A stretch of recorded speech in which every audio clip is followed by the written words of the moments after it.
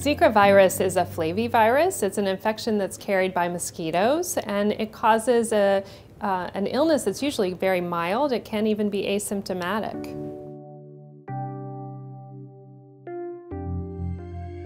So the Zika virus is transmitted by mosquitoes, much like other viral illnesses like dengue or chikungunya, um, other viral illnesses.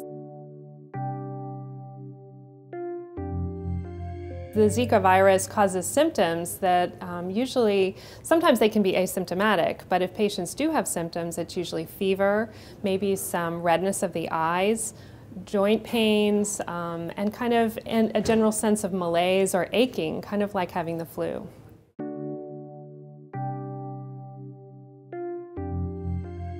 One of the reasons that the Zika virus is of so much concern lately is not from the infection itself, um, but of the late consequences, particularly in pregnant women. So this is what has caused the, the largest degree of concern. Congenital abnormalities that have been linked to infection of pregnant women with the Zika virus and um, that has later effects on the fetus.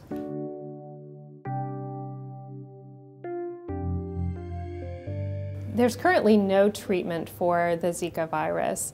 Um, this doesn't cause uh, much trouble. As I said, usually it's asymptomatic or a very mild self-limited illness um, when it occurs, but there's no treatment that's known for it. If more severe, severe disease occurs, um, treatment would be supportive, um, meaning that you would support the patient while they were recovering on their own from the illness. In terms of a vaccine, we don't have a vaccine for this disease either, but there are several candidate vaccines that are in research stages right now, and we're hopeful that perhaps within a year or so we'll have some clinical trials ongoing with vaccines to prevent this disease.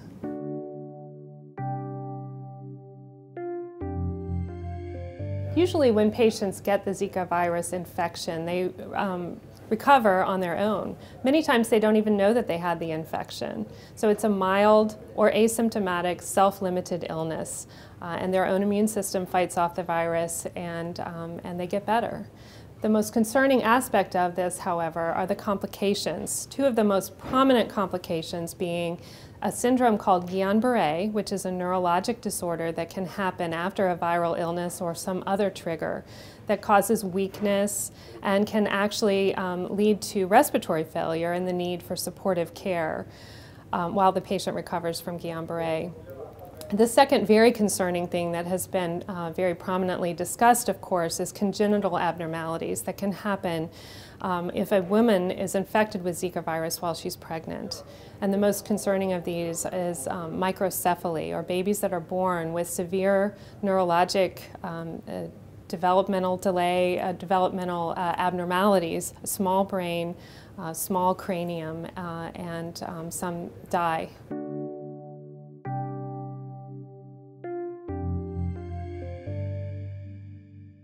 We certainly do have the mosquitoes here in the United States, particularly in the southern region of our country. Um, and those mosquitoes are capable of transmitting the Zika virus.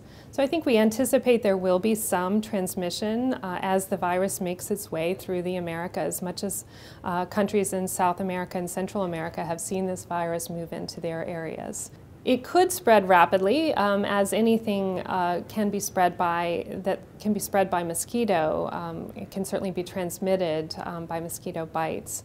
We have reason to believe that our mosquito control in this country will protect us uh, to some degree. Things like air conditioning, uh, mosquito control programs, uh, and other features here in this country that have limited the transmission of other mosquito-borne illnesses like dengue, for instance.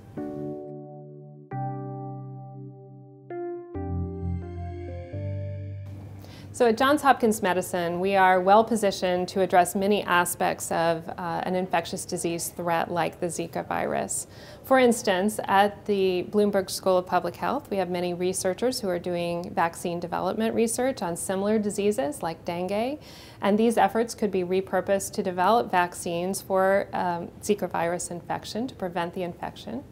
Um, from a patient care perspective, we also have infrastructure in place to screen our patients for recent travel. And um, some of these uh, systems were put into place for Ebola virus disease and could easily be repurposed to um, screen patients for recent travel to areas that have Zika virus transmission.